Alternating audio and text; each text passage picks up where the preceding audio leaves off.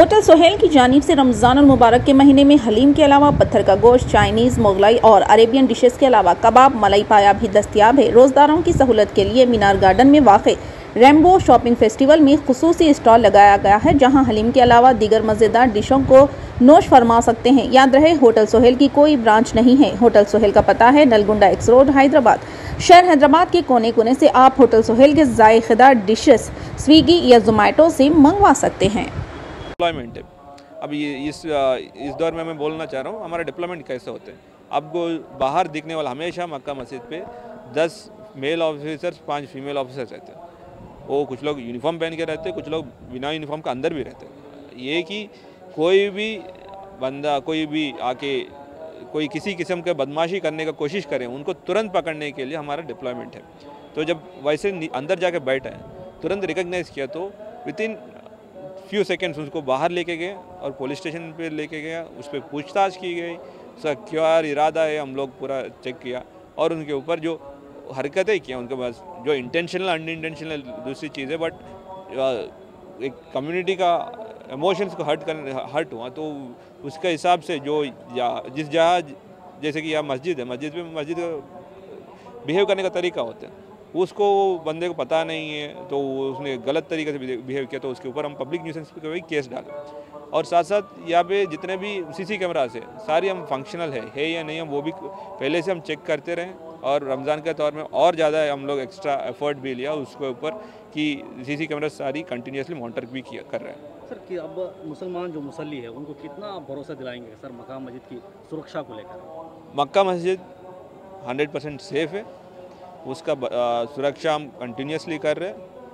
And specially Ramzan का time पे आपको पता है कि पाँच नमाज़ों के अलावा तरावी और ताजुद का नमाज़ होते हैं। उसके लिए भी बंदोबस्त की गई।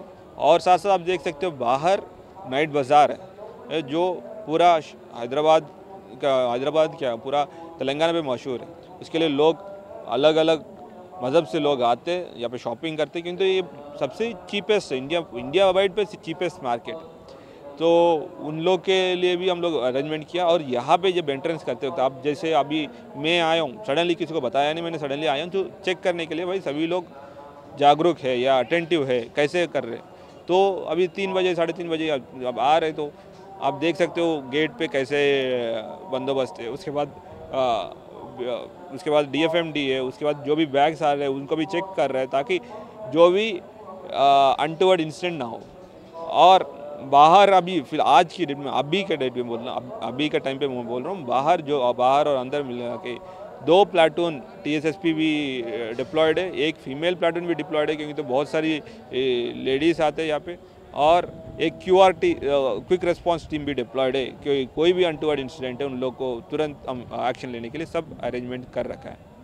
Thank you sir thank you तरफ़ से जो बोला जा रहा है कि जो है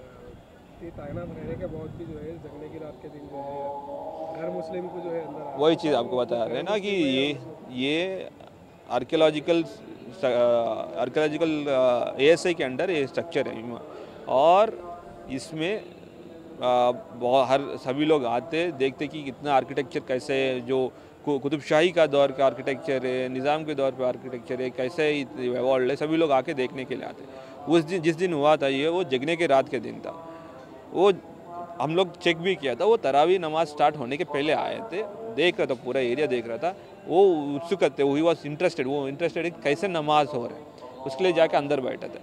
बट जब नमाज़ हो रही थी, वो अंदर जाके पहले रो पे बैठना, उनको प्रॉब्लम उनको पता नहीं है या इंटेंशन नहीं किया, हम लोग इन्वेस्टिगेट कर रहे हैं, जो उनके ऊपर पब्लिक न्यूसेंस का केस भी डाला है और पूरी तरह पूरी तरह से उनको इन्वेस्टिगेशन भी चल रहा है। पे जो अभी जो अफवाह फैला रहे हैं तो आप उन लोगों के लिए क्या मैसेज देना चाहिए देखो कुछ कुछ लोग हम देख रहे हैं सोशल मीडिया में कुछ गलत इंटेंशन के साथ अफवाह फैला रहे हमारा हैदराबाद और हमारा मक्का मस्जिद 100 परसेंट सेफ़ है। कोई भी किसी किस्म की बदमाशी बद, बदमाशी या या बैड एक्टिविटीज़ को यहाँ पे लोकल पुलिस टॉलरेट नहीं करेंगे या लोकल आवाम नहीं टॉलरेट करेंगे। उसके लिए हम सभी लोग गेरडप पे प्रिवेंटिव मेजर्स के लिए भी गेरडप पे, आप देख सकते हो सारी कैमराज भी अवेलेबल है। जैसे कि एक इंसिडेंट हुआ था परसों, उसके लिए भी तुरंत हम लोग एक्ट किया। विद इन सेकेंड्स उनको पकड़ के आइडेंटिफाई किया, पकड़ के लेके आ गया एंड उनके ऊपर कार्रवाई भी किया। Thank you